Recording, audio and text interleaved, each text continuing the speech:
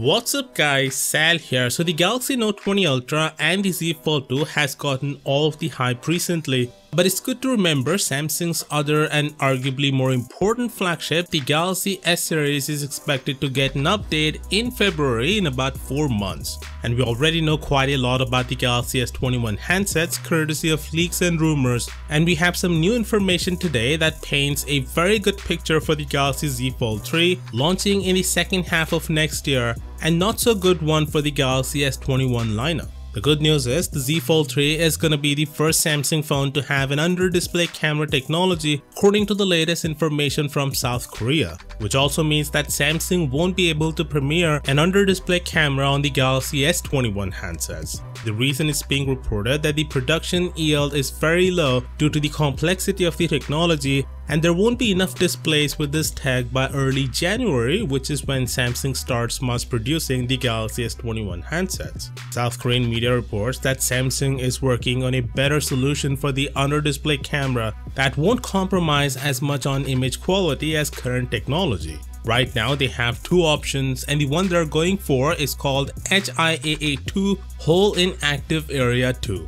HIAA1 is basically the tech we have on devices like the S10, S20, Note 20 etc where a hole is cut with precision with the help of a laser for the selfie camera. In HIAA2, instead of one big hole, they cut plenty of minute holes on the display cover over the selfie camera so that light can pass through these holes onto the camera sensor and at the same time there are enough pixels on the display to show the content. Drilling these minute holes with laser is a complicated process and the yield rates aren't satisfactory to meet the demand of the Galaxy S flagship series which sells in tens of millions per quarter.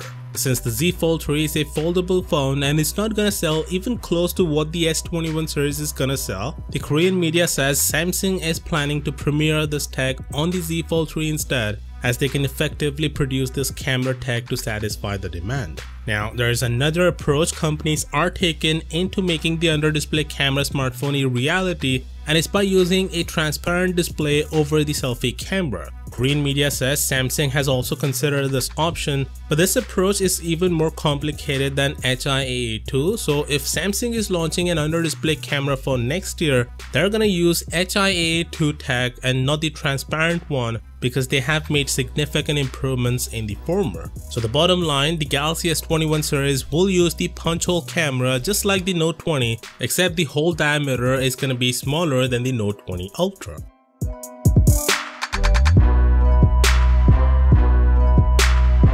So it seems Samsung is ending the exclusivity with GoodLock, a UI customization app. The app was only available to a handful of countries for these couple of years, but now Samsung is making it available to more markets. As of now, a lot of European countries are getting it, including Germany, Switzerland, and Netherlands. And more countries will get it soon. GoodLock is one of the best options from Samsung to customize your smartphone for example, you can change the stock boring multitasking menu into something like this, which looks amazing. Anyway, let me know what you think about S21 not getting the under display camera tag in the comments down below. And as always, I'll see you tomorrow.